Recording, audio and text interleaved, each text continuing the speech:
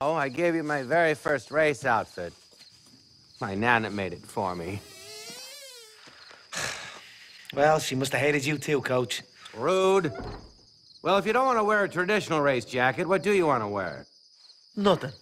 I'm sorry? I want to ride bareback. Stark bollock naked. Well, you can't. Not sure it's an official rule, but it'd definitely be a major ouchie on your dangly bits. Frankly, it's not very sanitary. Hmm, good point.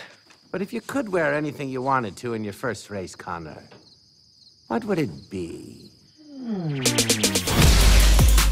Horse racing's been called the sport of kings. Me, your new king.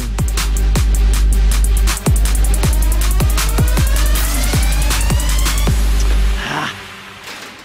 You're ruining the moment, man. You're ruining the moment.